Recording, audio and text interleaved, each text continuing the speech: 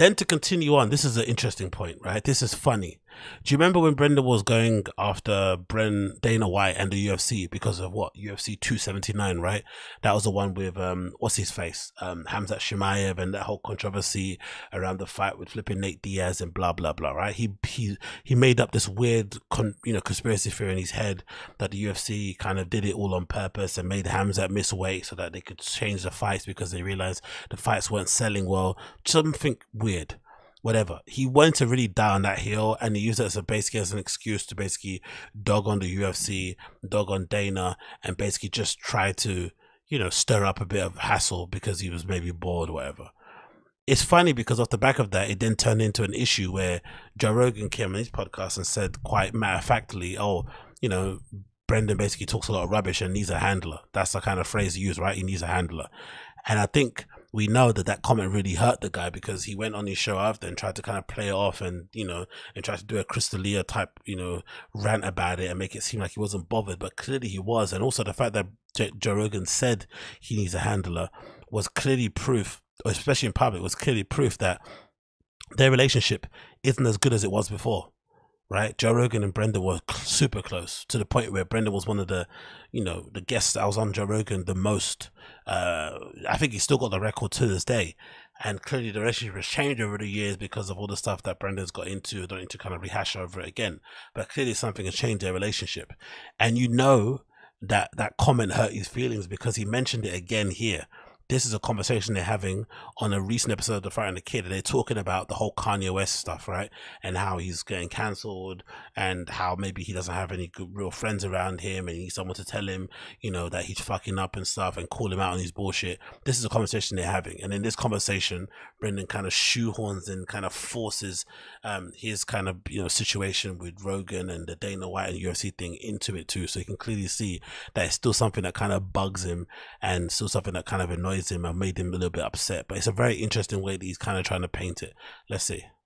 He's fine, but it, it it's ultimately, man, did you fuck up, dude? Man, did you mess up? What were you thinking? And, this, and, and I know what he was thinking. he was fan. thinking what a lot of people. And think. I'm a fan. He was thinking what a lot of people in the world think. That's the problem.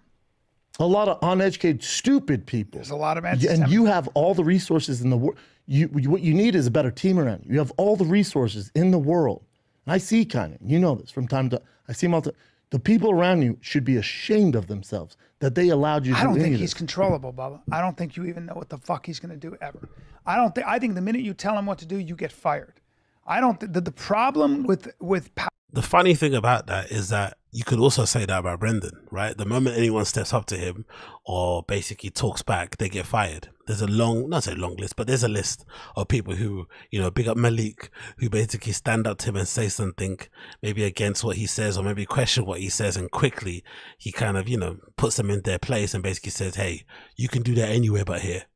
Power like that is you surround yourself with people who are looking for a paycheck and they just know they're dealing with crazy and they just yes you to death. So they get the money, but that's probably of all the yes men. Like, but that's what he does. Well, I, I'd say. Can you imagine? I'd say. I'd say. Listen, Joe Rogan's not as influence. Uh, uh, he's not as big or as as I, I don't know as much influence as Kanye West. Kanye West is. Oh, look at him talking out of turn about Rogan. Look at Bryan Callen's face. He's like, uh, uh, uh, be careful. I just got back into his good graces. What are you gonna say about Daddy Rogan? Relax. Brendan's out here saying that Rogan isn't as influential as Kanye West. In previous years, he would have said Rogan's as big as Kanye West. Rogan's the biggest thing since sliced bread. Without Rogan, the world would not spin. Now he's questioning Rogan's influence. Oh, there's definitely trouble in paradise. Real, he's our Steve Jobs of rap, right? He's our Steve Jobs of entertainment. Rogan's definitely influential when it comes to comedy and podcasting but even Rogan has more money than God. But if Rogan posts something or something, anything, you can call Rogan. I'm like, what are you doing? I'm like, God, you're fucking right, dude. That sure. was a mistake. Like I've had times where like Rogan. We'd all do that for each other. That's a decent example, right? To pull. Like, you know, Rogan's pretty influential, pretty high up person, pretty famous person, but you can still call him out on his bullshit. You can still kind of speak to him and he will listen to you in a way, right? Which is complete opposite of Kanye. They're basically uh, going at. But then to shoehorn what he went through with Rogan and the Dana White situation into it is a real, real horrible name droppy thing that he does all the time. I don't, I don't think there's a single podcast that these guys do where they don't mention fucking Joe Rogan's name. And the funny thing about it is that has he ever been on the Fighter and the Kid? I don't think he has, has he? Has Joe Rogan ever been on a Fighter and the Kid, like in the studio? Even when it was really good, when it was back in the day and stuff. Has he ever appeared on the show? He's had them on his show, but has he ever appeared on there? I don't think he has, you know. But they mention this guy every single day. Well, like if I say you, you've You- done that. You and I've done it to you. Yeah. You've done it to me multiple Yeah. times. Rogan did, did it to me like when I was, and this got so out of hand with the the conspiracy with Dana and stuff like that. It got out of hand because you kept doubling, tripling down, my friend. That's why it got out of hand. yeah, you call were me- joking around. Joking around like this Oh, Bryan Callen trying to help him out there. He, he wasn't joking. He was being serious. got out of hand. Like but, you were trying to create. But a, then when you put my, but then when you put me against the wall, I'm like, hold, hold on, hold on here, dude. I do con, I do nine shows a fucking week. This is something for me to run with, and it gives me entertainment. Fun, yeah. No. I- oh. now it's now it was all a joke. It was all a prank. That's what it is. It was a prank, bro. It was a prank. No, it wasn't. You legitimately thought the UFC were colluding with Kamzat Chayev, Ham, oh, sorry, Hamzat Chimaev to flip in, get him to miss weight so that they can change the fight last minute because the tickets weren't selling. That's what you legitimately thought was happening. And then what Hamzat Chimaev ends up running through, flipping, um, what's my guy's name? Um, is it Kevin something, right? I forgot his name. He ends up running through him and making it, making absolute light work of him, probably in the same way you would have done Nate Diaz anyway. But what is this? I caveat it with, I don't believe all this, but if I were going to, Yeah, that's what yeah, I do. that's right. And then Dana picks it up, No, you didn't do that. You didn't do that at all. You said you definitely believed it. and I do stuff, and even Rogan was like, "What are you doing, dude? Why would?" And you're gonna make a bit about it. I'm like, I, I need con. Like for me, it's fun. Yeah. And I was I, I need content, he's trying to say. So I just make up shit. You hear what these guys are saying? So he just makes up shit and runs with it, even stuff that he doesn't believe, just so he can make up content. Is that what people are doing out here now? Horrendous. So not even a hot take that he actually can stand. This is the thing that's so, you know, pathetic about this whole thing. The whole conspiracy theory was pathetic, but stand on it. Stand on it. Why are you now got backing away and trying to say it was all a prank? Just stand on it. You're allowed to have an opinion. Maybe someone called it out and said it was dumb, but stand on it. I was like, and I, I still don't dislike Dana. I have fun. He goes, don't do that one. All right, you're right. And then when he goes on show and goes, oh, Brent needs a handler. And my friends and family call me like, Rogan a handler. I called him. I, I texted him. He was, he, I tried calling him, text him. it really hurt his feelings, didn't it? That handler comment really hurt his feelings.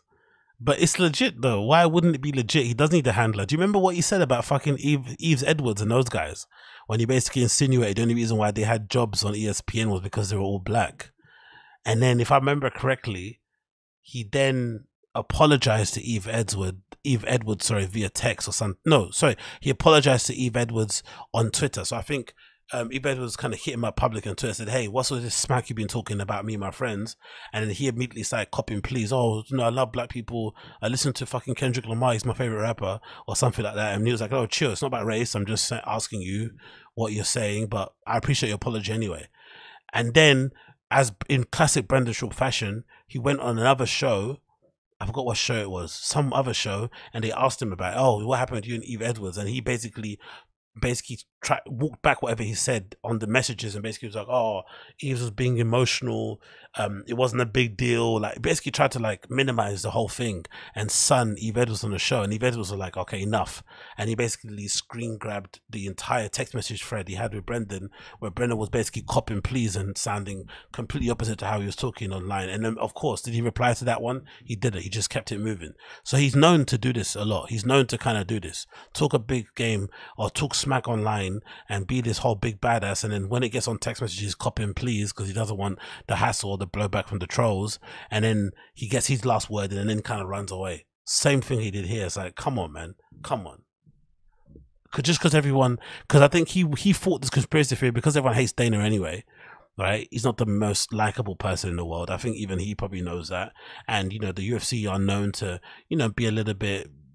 Uh, a little bit sneaky when it comes to the matchmaking and the ranking and stuff. It would make sense that if he said what he said any other time that the MMA community, UFC community will kind of rally behind him.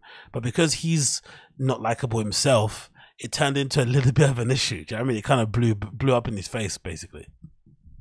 Was like, "Are you shitting me, dude? Handler?" And then he wrote me this long thing like, "You're right. Shouldn't have said that." You know, blah blah. And he gave me his reason. I went, "I know, but you don't." Need, he goes, "You're right. Shouldn't have said that. You're, you're you're not helping my cause, dude. I'm already fighting a good fight here. You're not." No, you're not. Well, good f- it really hurt him, innit? That handler comment. And again, it was such a minor comment to make, and it really, really stung him. not helping me. He was like, "You're right. Won't do it again." I was like, "Yeah, I would never do that to you, ever do." But that's what you. But but Rogan wouldn't make up a fucking conspiracy theory that they're trying to change fights last minute to sell tickets. You do the same thing. To, what are you doing?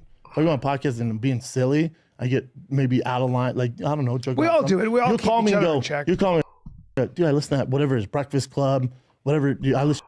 Anyway, that's Brendan basically getting really emotional about it and basically revealing that he had to have a word, sit uh, a heart to heart with Joe Rogan over text message because he couldn't get hold of him on the phone. Keep that in mind. Joe Rogan let the phone ring out. He didn't want to talk to Brendan on the phone. They had to go through text, and he basically said, "I'm upset about you saying I need a handler." Like fucking insane, isn't it? Absolutely insane.